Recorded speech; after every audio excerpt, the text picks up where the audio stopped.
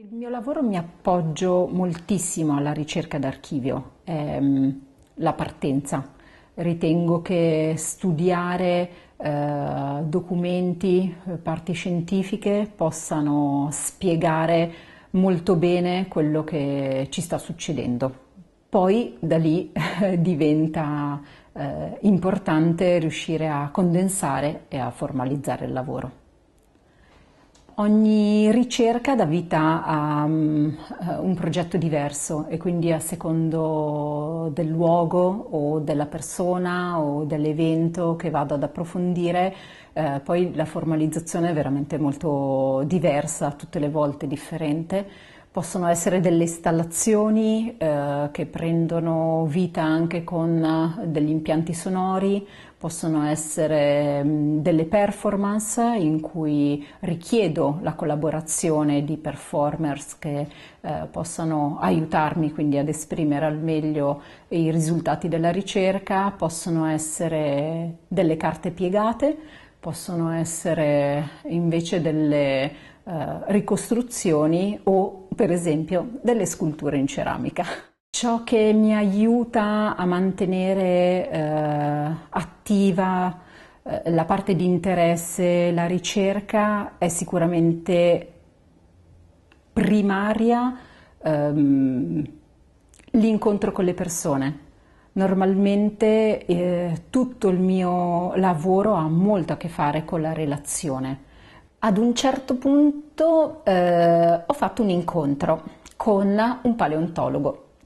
E mm, parlando con uh, questo geologo professionista um, abbiamo approfondito alcuni temi legati al tempo e come uh, questa sua professione, questo, questa sua scienza um, utilizzasse delle forme espressive per parlare di un tempo così lontano, mi ha raccontato quanto un archivio sia anche semplicemente una porzione di terreno. Quindi come nello studiare ehm, delle fasce differenti di terreno si possa ehm, scoprire molto di quello che ci riguarda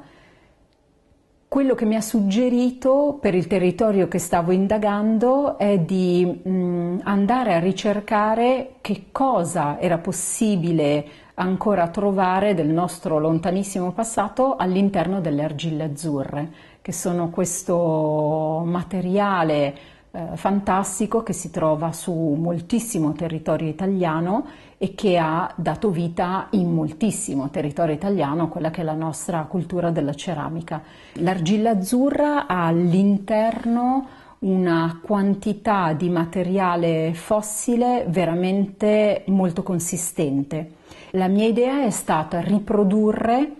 in una scala molto grande ma assolutamente proporzionata agli originali microscopici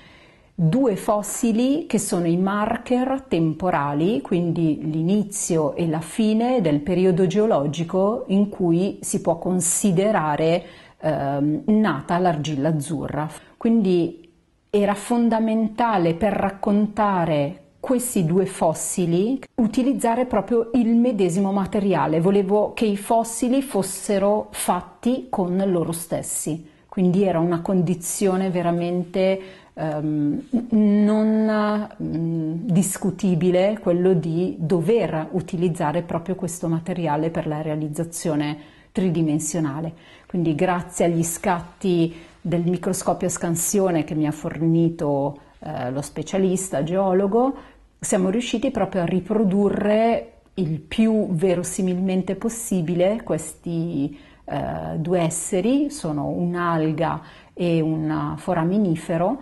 che ci raccontano di un passato veramente lontanissimo, il passato di Cronos. Il lavoro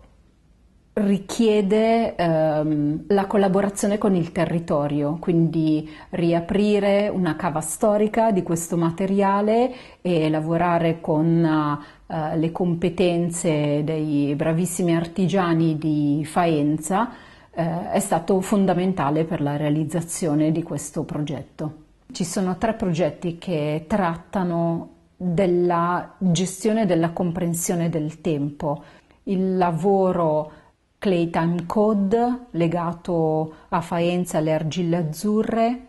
il progetto La luce naturale delle stelle ehm, legato alla presenza del planetario sul territorio di Milano, il planetario Ulrico Oepli e ehm,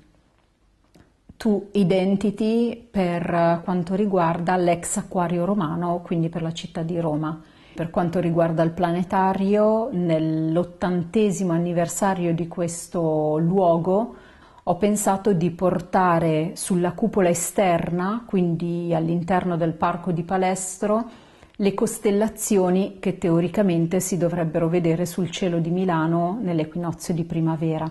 utilizzando le mappe astrali che eh, mi hanno fornito proprio gli astrofisici del planetario. E per l'ex acquario romano il lavoro si è concentrato intorno alla figura del, di Pietro Carcanico che è questo eh, imprenditore di Como, un piscicultore comasco che decide nel momento in cui Roma diventa la capitale del nuovo Stato italiano, quindi alla fine dell'Ottocento, di trasferirsi per portare la conoscenza scientifica rispetto al suo business. E quindi fa di tutto perché il Comune di Roma gli ceda un terreno pubblico su cui costruire dopo circa otto anni di impegno l'acquario e farlo partire con uh, tre intenti, quello di studio scientifico, quello di mercato del pesce, quindi di allevamento ittiologico e di miglioramento della qualità alimentare